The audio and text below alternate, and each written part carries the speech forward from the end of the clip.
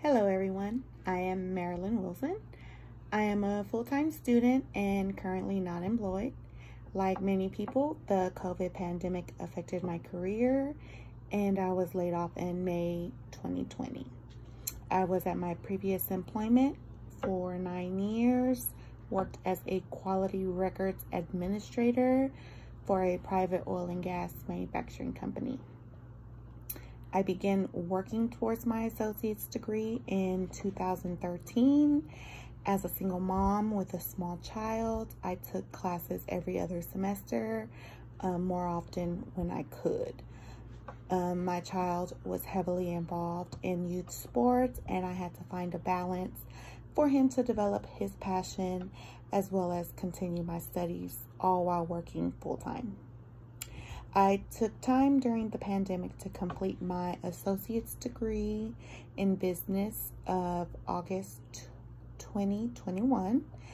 Now I have the opportunity to pursue my bachelor's degree in business management full time. I am using this chance to focus only on my studies because I know I do not want to spend another eight years in college. As previously mentioned, I was employed at a company I loved. A few of the benefits available to me were flexibility, self-management, and competitive pay and benefits.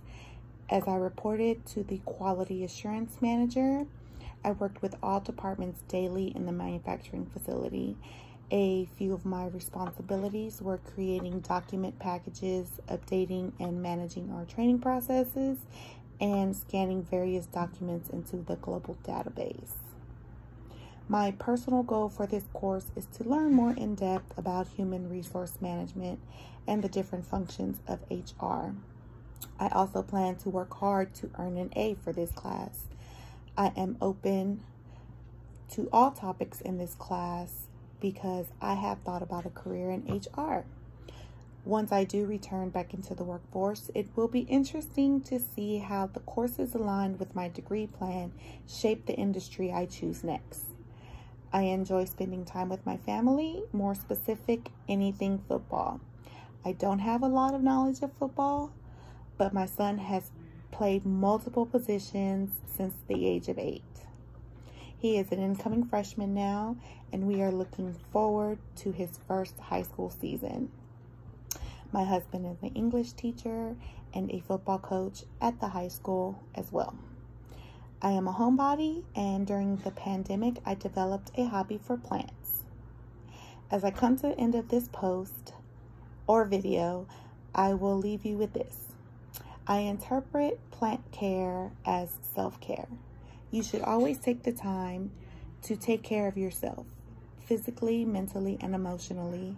There is no set schedule for self-care, but it is always important to check in and make sure that all of your needs are being fulfilled for optimal results. Good luck, everybody.